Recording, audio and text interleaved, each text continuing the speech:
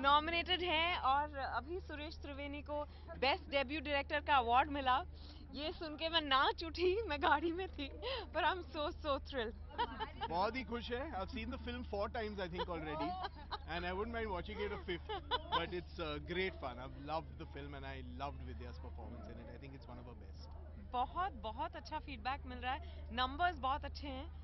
We we are already we been in the theatres for two and half weeks and we are still going strong so बहुत बहुत खुशी हो रही है। और घर से निकलते निकलते दंगल के अवार्ड्स के बारे में भी सुना। तो वी आर ऑलरेडी सेलिब्रेटिंग